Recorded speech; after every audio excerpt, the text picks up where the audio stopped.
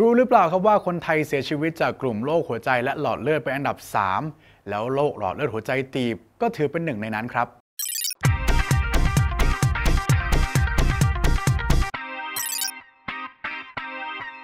คนที่มีความเสี่ยงป่วยเป็นโรคหลอดเลือดหัวใจตีบ ก็คือคนที่ป่วยเป็นโรคเบาหวาน สูบบุหรี่เครียด แล้วก็ไม่ได้ออกกำลังกายนะครับ ที่สำคัญโรคนี้อันตรายถึงชีวิตพอดแคสต์รีวิวกับรายการโรงหมอ จะเล่าอาการของโรคนี้ให้ฟังกันครับ คนไทยเนี่ยเสียชีวิตจากโรคหัวใจและหลอดเลือดเนี่ยเฉลี่ยชั่วโมงละ 8 คน รายงานของกระทรวงสาธารณสุขปี 2565 นะ พบค่ะการเสียชีวิตของคนไทยด้วยโรคหัวใจและหลอดเลือดมากถึง 70,000 ราย โอ้นะเยอะนะ แล้วก็คาดว่าจะแนวโน้มเพิ่มขึ้นทุกปีอุ้ยนะคะ แต่ว่า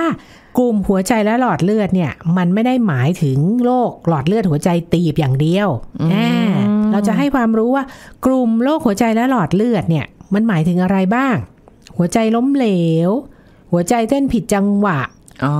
โรคหลอดเลือดหัวใจโรคของลิ้นหัวใจรั่ว หัวใจตีบ กล้ามเนื้อและเยื่อหุ้มหัวใจ หัวใจพิการแต่กำเนิดเห็นไหมกลุ่มกลุ่มตรงเนี้ยมีตั้งหลายโรคแต่ว่าโรคหลอดเลือดหัวใจตีบเนี่ย พบได้บ่อยที่สุด เป็น ปัญหาสุขภาพชนิดร้ายแรง เป็นสาเหตุของการเสียชีวิตอันดับต้นๆของโลกและของไทย สมัยก่อนเนี่ยอาจจะพบมากในวัยสูงอายุค่ะแต่ว่าปัจจุบันเนี่ยพบใน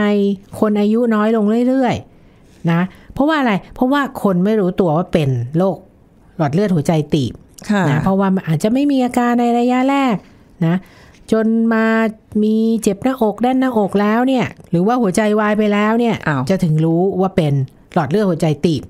เพราะฉะนั้นการรู้ทันสาเหตุการ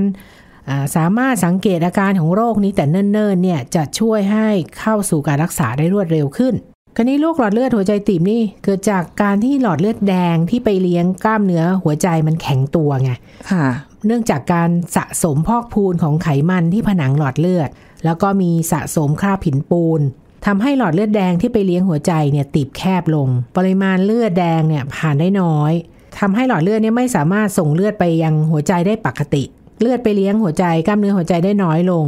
นะทำให้หัวใจขาดเลือด หรือตีบแค่มากจนอุดตันไปเลย ก็จะทำให้เกิดกล้ามเนื้อหัวใจตายและถึงชีวิต ติดตามรับฟังเรื่องราวเหล่านี้ได้ในรายการ โรงหมอตอน โรคหลอดเลือดหัวใจตีบ ที่ทางเว็บไซต์ www.thaipbspodcast.com แอปพลิเคชัน Thai PBS Podcast ดาวน์โหลดได้ทั้งระบบ iOS แล้วก็ระบบ Android รวมทั้งพอดแคสต์ช่องทางต่างๆ ที่ทุกคนรับฟังอยู่ ยังมีรายการน่าสนใจอีกมากมาย ติดตามได้ในพอดแคสต์รีวิวครับผม